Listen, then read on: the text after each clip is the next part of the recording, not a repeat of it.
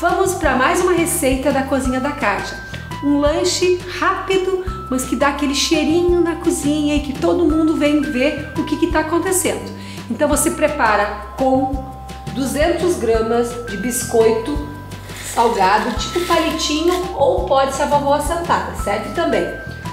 4 colheres de achocolatado, então já pode ter açúcar na composição. Por esse motivo eu estou usando só 3 de açúcar refinado, porque aqui já está doce, então não preciso tanto açúcar. E 3 colheres de nata aqui no sul e para o resto do país, creme de leite fresco. Vou fazer o que? Aqui pego as 3 colheres de nata,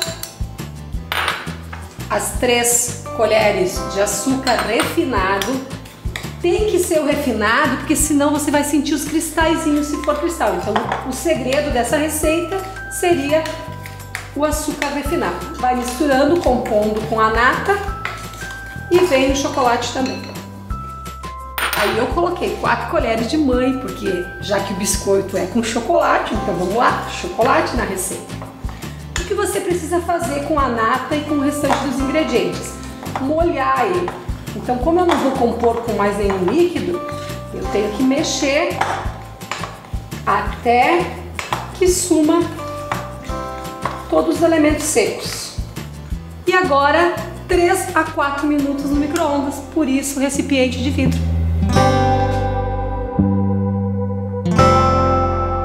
Olha que lindo que ficou! Vamos ver o ponto? Foram 3 minutos e 30. Vou dar uma testada. Qual que é o ponto? Tem que puxar o fio, é como se você fosse usar na pipoca. Tá? Uma dica legal, porque ele vai ter que açucarar, ó. Tá vendo o fio puxando? Então tá no ponto. Aí você vem pro biscoitinho. E aí como vai secando, vai grudando no biscoitinho. E aí você vai fazer a festa com a família. Sim. Vamos lá, mais um pouquinho.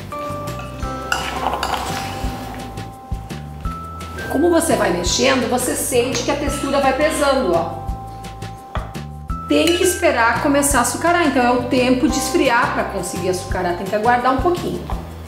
E vai mexendo de vez em quando para soltar, senão fica tudo grudado que nem rapadura, você quer que fique soltinho, então como ele começar a açucarar, você começa a abrir com a colher.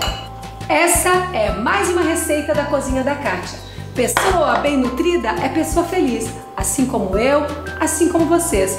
Muito obrigado pela paciência e até a próxima receita. Que problema esse negócio voltar na geladeira,